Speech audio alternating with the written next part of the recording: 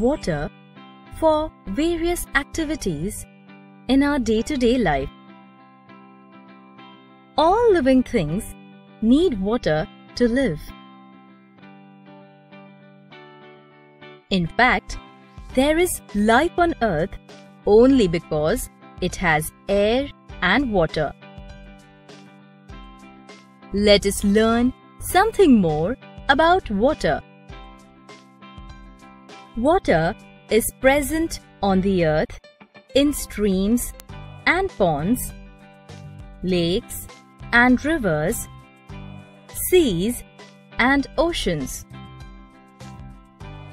We also see water flowing down in the form of beautiful waterfalls in hills and mountains. States of water Water exists in three forms solid, liquid, and gaseous.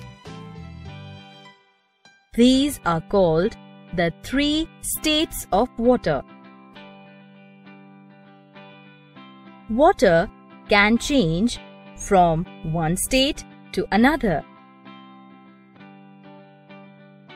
Water in the liquid form does not have a fixed shape and takes the shape of its container. It can flow.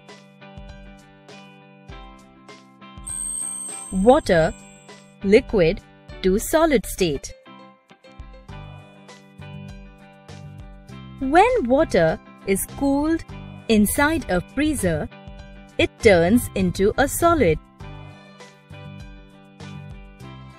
Frozen water or water in a solid state is called ice.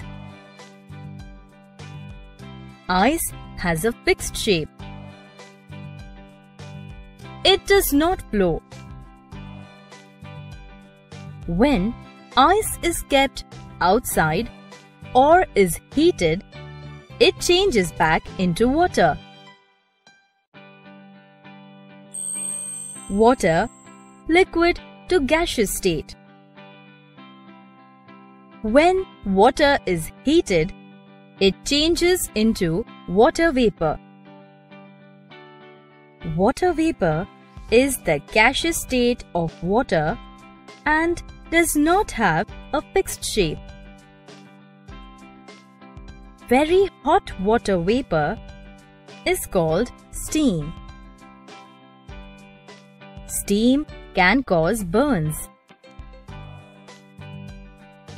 When water vapor or steam is cooled, it changes back into water.